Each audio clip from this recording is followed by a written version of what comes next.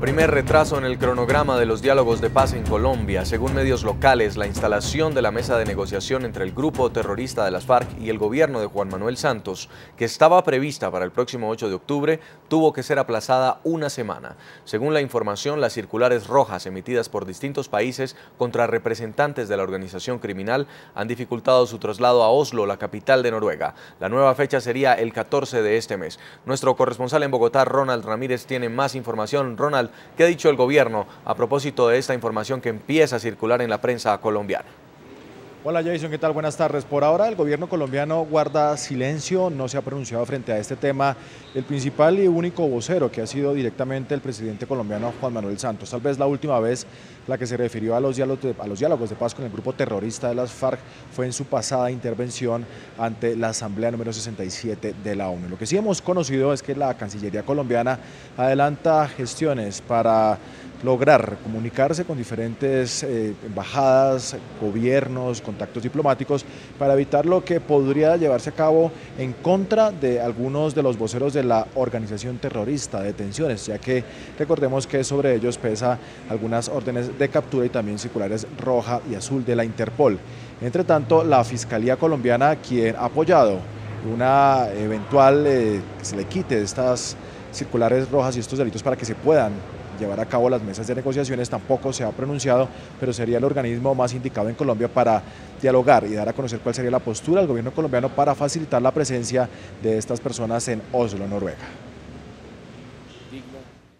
El próximo 14 de octubre iniciarían los diálogos de paz entre el gobierno de Colombia y el grupo terrorista de las FARC, luego de que se presentara el primer retraso en el cronograma de las negociaciones. Las circulares rojas emitidas por distintos países en contra de los representantes de la organización criminal que hacen parte del proceso de paz habrían dificultado su traslado hacia Noruega. Medios de comunicación colombianos señalan que la Cancillería estaría adelantando contactos internacionales para evitar más retrasos en la cita con los negociadores del gobierno de Juan Manuel Santos en Oslo contribuyó mucho. Luego del encuentro en la capital noruega, las dos partes se trasladarán a La Habana, capital de Cuba, donde se reunirán a puerta cerrada. Hasta allí llegarán 30 enviados de cada parte, pero solo cinco delegados se sentarán a definir los detalles del acuerdo.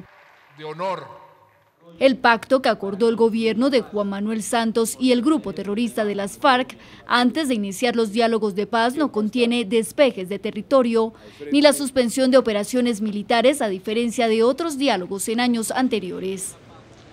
Jason, de esta manera se esperaría entonces un pronunciamiento oficial por parte del gobierno colombiano. De igual manera, de los voceros del grupo terrorista de las FARC, quienes ya han sido encargados por esta organización terrorista para adelantar las negociaciones con el gobierno colombiano en el marco de los diálogos de paz en Colombia entre ambas partes.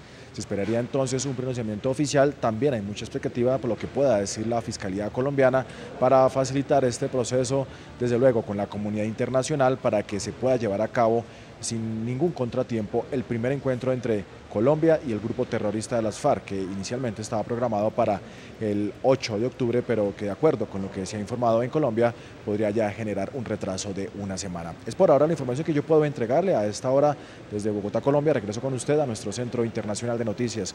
Jason, buenas tardes.